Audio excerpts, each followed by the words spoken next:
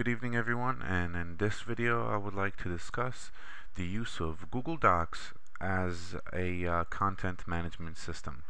Um, the beauty of Google Docs is that A it's a cloud, uh, B it's free, and C all you need is a Google account in order to access it.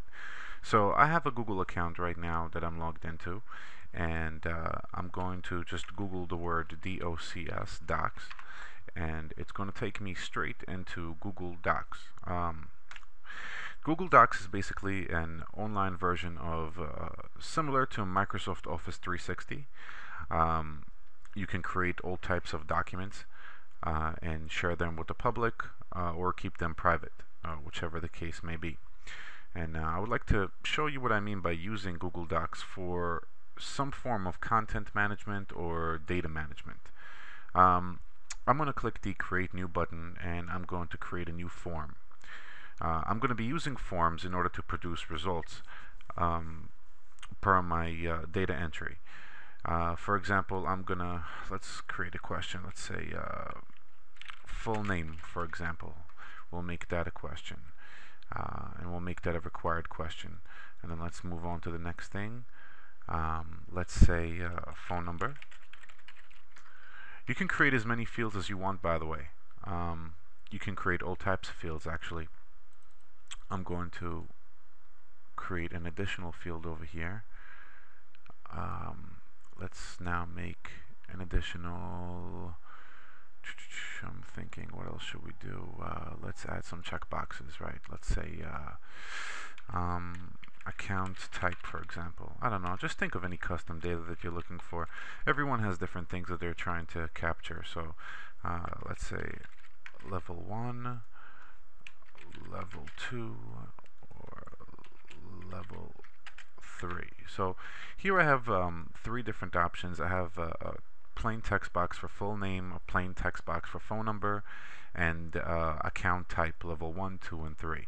So this is very easy just by adding different items. On the very top there is the add item button.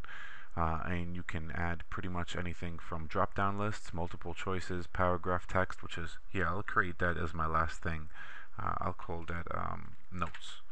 So we'll add a notes field into my form here. Um, and this is technically a cloud, what I'm doing right now. So I have this form right now, and I'm going to save it. And let me exit out of this uh, form because now I'm finished with it.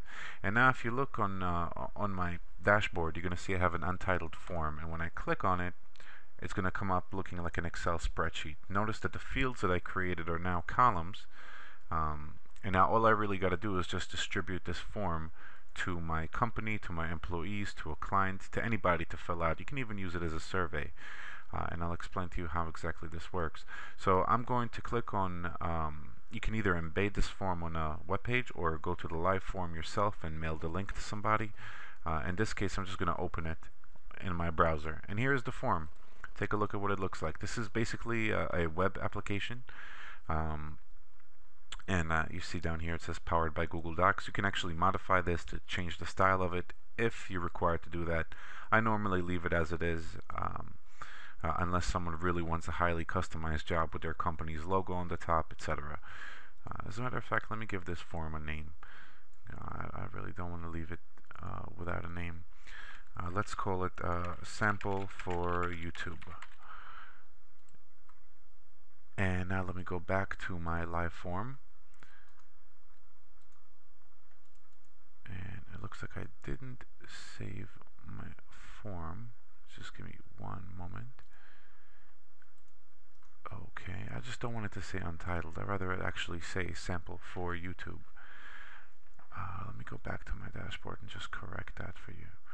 So you'll see what I mean. Look at the, how fluid this is. It's so easy to navigate and Google has a great server so you never really lag. Um, it's actually very, very, very nice. Uh, but the, the only backdraw to this is if you lose your internet connection, you're pretty much screwed um, because you won't be able to access this. So I have here my sample for YouTube form. And let me now go in and create an entry and uh, add it to this form. So let me go here to my live form again. And let's reload it. It'll say sample for YouTube. And let's do full name. Let's say John Smith. Phone number is 555-555-555 and this account type will say it's a level 1 and a level 3 and let's add the notes uh, please call back on Friday 10 a.m.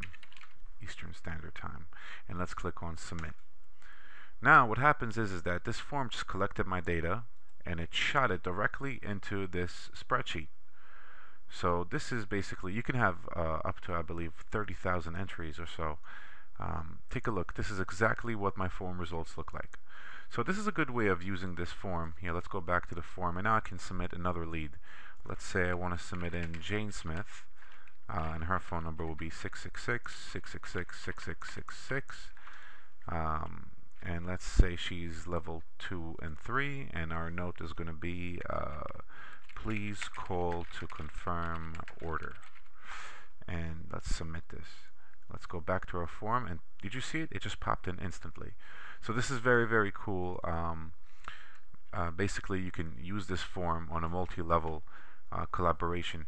You can actually submit it and give this form to, let's say, five people, and all five people can enter this into this spreadsheet. And then the next person can go in and follow up.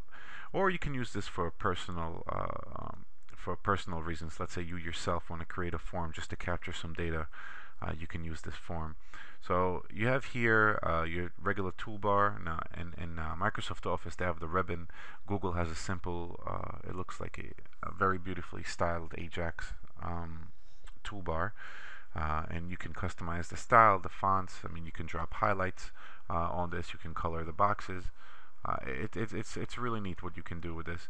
And notice, when I color something, and someone else is looking at this screen at the same form, in real time they'll be able to see me making these changes. So that's that's another cool thing to consider. Um, a timestamp gets added to every entry, so you can always track uh, what day and what time the entries were made in. You can have uh, as many fields as you'd like.